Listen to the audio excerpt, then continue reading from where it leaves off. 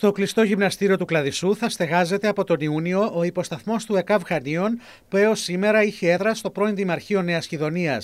Από τον Δήμο Χανίων παραχωρήθηκε χώρος 50 τετραγωνικών στο γυμναστήριο, όπου θα φιλοξενούνται οι διασώστες του ΕΚΑΒ που θα επανδρώνουν ένα στενοφόρο σε 24 ώρη βάρδια.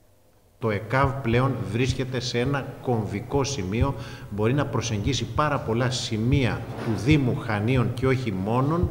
Από αυτή τη θέση πολύ καλύτερα και να παρέχει ταχύτερη εξυπηρέτηση, άρα μεγαλύτερη ασφάλεια προς τους πολίτες που θα του συμβεί κάτι. Θέλουμε να ευχαριστήσουμε τον Δήμαρχο Χανίων, τον Αντιδήμαρχο τον κύριο Αδοντάκη και όλο το Δημοτικό Συμβούλιο διότι μας παραχώρησε τον ε, συγκεκριμένο χώρο, ο οποίος βρίσκεται σε ένα πολύ κομβικό σημείο, εξυπηρετεί την άμεση πρόσβαση προς όλες τις μεριές της πόλης και όλοι γνωρίζουμε πόσο σημαντικό είναι αυτό την εποχή που διανύουμε με τα χίλια δυο προβλήματα που κατά καιρούς έχουμε αναφέρει που αντιμετωπίζει το ΕΚΑΒ λόγω έλλειψης δύναμης και οχημάτων αλλά και δυναμικού. Ο υποσταθμός του ΕΚΑΒ θα παρέχει πολύτιμες υπηρεσίες όμως και στους αθλητές του κλειστού γυμναστηρίου του Κλαδισού.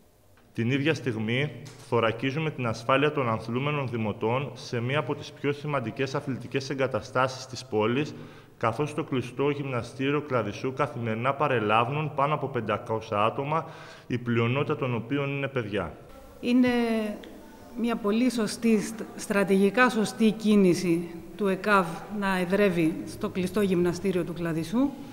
Ε, από την άποψη του Ιατρικού Συλλόγου θα ήθελα να προσθέσω ότι είναι βασικό και σημαντικό όλες οι αθλητικές δραστηριότητες, ερασιτεχνικές και επαγγελματικές, να καλύπτονται από γιατρό. Κυρίως οι μεγάλες οι διοργανώσεις αγώνων που γίνονται στην πόλη μας. Σημειώνεται ότι ο τομέας χανίων του ΕΚΑΒ αντιμετωπίζει σοβαρά προβλήματα υποστελέχωσης. Και αυτή τη στιγμή είναι τρία ασθενοφόρα να καλύψουν όλο τον ομοχανίων συμπεριλαμβανομένων των διακομιδών που γίνονται επί καθημερινής βάση. Και τώρα το πρωί που μιλάμε, από τα τρία αυτοκίνητα το ένα έχει πάει διακομιδή. Και από ό,τι ενημερώνουμε και το απόγευμα το ίδιο. Των αποθεραπείων και όλων του όγκου δουλειάς του νοσοκομείου. Και πολύ περισσότερο, όπως πρόσφατα έχει δημοσιοποιηθεί, και κενών των κέντρων υγείας, που ουσιαστικά υπολειτουργούν των οδηγών των ασθενοφόρων τους. Οπότε αντιλαμβάνεσαι ότι με τρία ασθενοφόρα θα είναι πολύ δύσκολο να βγει το καλοκαίρι αν δεν υπάρξει μια περαιτέρω ενίσχυση στα Χανιά.